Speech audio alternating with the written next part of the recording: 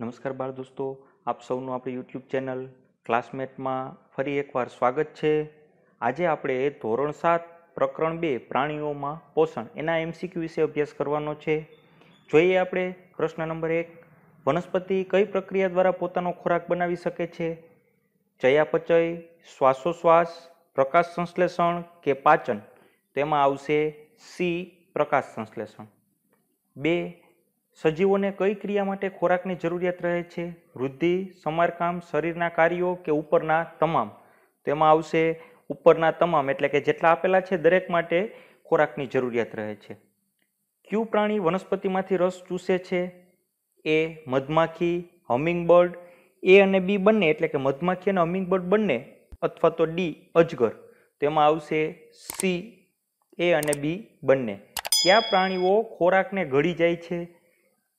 અજગર, મધમાખી, હમિંગબર્ડ કે કીડી? તો આપને ખ્યાલ જ છે અજગર.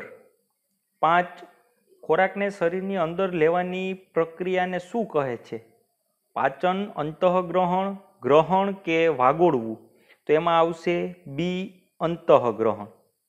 ત્યારબાદ છ, પ્રથમ સમૂહના દાંત કઈ ઉંમરે પડી જાય છે? ત્રણથી ચાર વર્ષ, પાંચથી છ વર્ષ, ચારથી પાંચ વર્ષ કે છથી આઠ વર્ષ. તો એમાં આવશે ડી છ થી આઠ વર્ષ. શૈશવકાળ દરમિયાન વિકાસ પામતા દાંતને શું કહેવાય છે?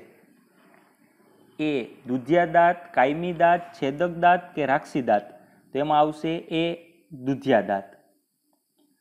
સફરજનના ટુકડાને બચકું ભરવા માટે કયા દાંતનો ઉપયોગ થાય છે? છેદક દાંત દાંત અગ્રદાંત કે રાક્ષી દાંત?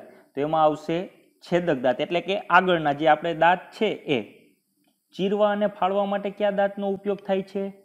તો એની અંદર જવાબ આવશે રાક્ષી દાંત. ચાવવા અને ભરળવા માટે કયા દાંતને ઉપયોગમાં લેવાય છે? તેમાં આવશે બી દાઢ.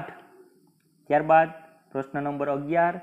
સ્ટાર્ચનું સરળ શર્કરામાં રૂપાંતરણ કરવાનું કાર્ય કોણ કરે છે? મુખ ગુહા ખોરાક, રસાંકુરો રસાંકુરો કે લાળરસ? તેમાં આવશે ડી લાળરસ. જો મિત્રો ચેનલને સબસ્ક્રાઈબ ના કરી હોય તો સબસ્ક્રાઈબ જરૂરથી કરજો, જેથી બીજા વીડિયો તમને ઝડપથી મળી રહે. પ્રશ્ન નંબર બાર. સ્વાદની પરખ શેના દ્વારા થાય છે? એ રસાંકુરો, દાંત, લાળ કે સ્ટાર્ચ? તો જીભમાં રહેલા રસાંકુરો દ્વારા. તેર. દાંતનો સડો કરતા બેક્ટેરિયા શું મુક્ત કરે છે? શર્કરા, એસિડ, બેઝ કે ક્ષાર? તેમાં આવશે બી એસિડ. દાંતનો સડો કરતા પદાર્થ ક્યાં છે? ચોકલેટ, મીઠાઈ, ઠંડા પીણા કે તમામ? તો એમાં આવશે તમામ. ચોકલેટ, મીઠાઈ, ઠંડા પીણા બધાથી દાંત ખરાબ થાય છે. દરેકે બ્રશ કે દાંતણ દિવસમાં ઓછામાં ઓછા કેટલા વખત કરવું જોઈએ? એક, ત્રણ, બે કે ચાર? તો એમાં આવશે બે વખત. સોળ, દાંત સ્વચ્છ કરવા માટે કયા સાધનો વાપરવા જોઈએ? બ્રશ, દાંતણ, દંતબાલ કે તમામ? તેની અંદર આવશે તમામ કોઈ પણ આપણે સાધન એમાંથી વાપરી શકીએ. કડવો સ્વાદ જીભના કયા ભાગ પર પરખાય છે? પાછળ, વચ્ચે, આગળ કે ડાબી કે જમણી બાજુ? તો એમાં આવશે એ પાછળ. આવજો મિત્રો, બીજા વિડીયોમાં ફરીથી ઝડપથી મળશું. આભાર. જો તમને આ વીડિયો ગમ્યો હોય તો તેને લાઈક કરો અને તમારા બીજા મિત્રો સુધી પહોંચાડો. આપ હજુ વધુ શીખવા માંગતા હોય તો આપણી ચેનલ ક્લાસમેટને સબસ્ક્રાઇબ કરી બેલ આઇકોન દબાવવાનું ભૂલશો નહીં અને સ્ક્રીન પર રહેલા વિડીયોમાંથી કોઈ પણ વીડિયો ક્લિક કરી જોઈ શકો છો અને વધુ શીખી શકો છો.